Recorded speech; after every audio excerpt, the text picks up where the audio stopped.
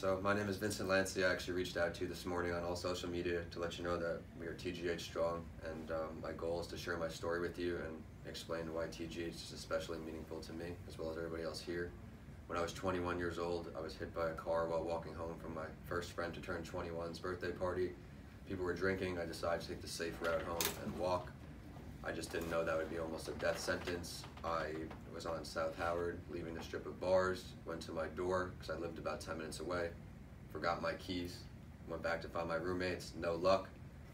As I was crossing the road back by my house, uh, you know, a car hit me from behind at about 40 miles an hour. I went up in the air and landed on my face, all purple. I suffered from traumatic brain injuries and I now have a metal rod in my leg. My bone came out and they had to straighten it up and have the bone grow naturally around it. You know, I wasn't supposed to make it through the first night, and I'd like to just ask you to put yourself in my mother's shoes. If you have kids, um, she had to get a call in New York saying, hey, we don't know what's going to happen. If your son is Vincent, we can't say anything on the phone, but you need to get to Tampa immediately. So that phone call is basically my motivating fuel for everything I do in life. Once I made it through the night, the doubts then shifted to I'll never walk, talk, go to school, all these things again. I was at level zero, getting dressed by a stranger every morning, to riding the most tedious task, the arm bicycle. You know, I couldn't separate dreams from reality. You know, but because of TGH, you know, if I was anywhere else, I probably wouldn't be here today. I had to, you know, relearn everything. But like I said, walk, talk, but through TGH's strength, I was finally able to put all my thoughts into a book. I have one for you as a gift. It is a story from when I was born through the hospital. My mother, you know, I see a lot with my mom because you were with him. Took a journal the first 15 days of all the ridiculous things that have happened to me. I said this, that. So basically, my goal with this book is to raise mental health awareness and the dangers of drinking and driving. While he didn't get convicted of a DUI because it was a hit and run, you know, on Howard, there's the 75 North and South this man just decided to keep going, didn't even stop, and luckily there was a police DUI checkpoint right there where the officer had two decisions, chase the guy, arrest him, or save my life. So I'm indebted to him. But, you know, TGH, I'm just here to stress, you know, the importance of quality of care, not just any care.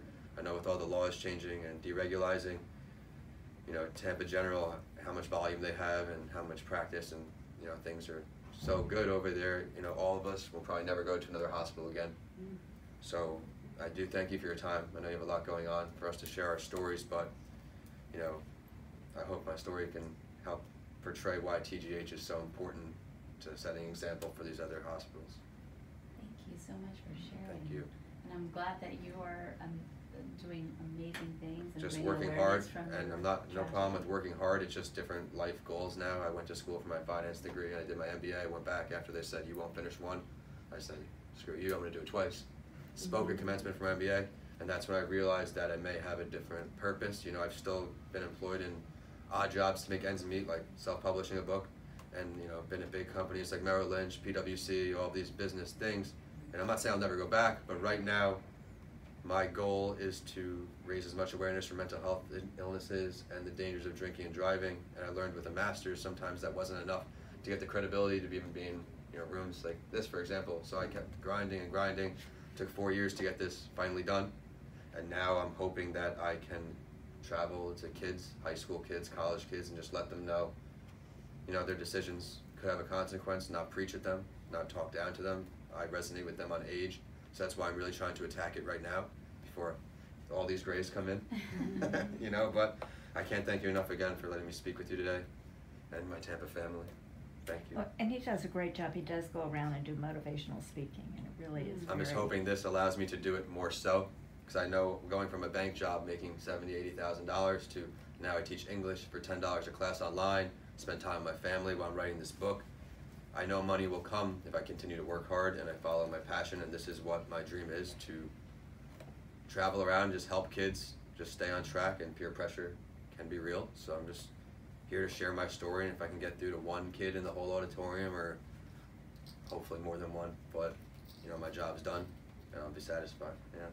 Your story is so inspiring. I'm sure that you will resonate with so many different people. I'm very proud of you. Thank you very much. Absolutely. Mm-hmm.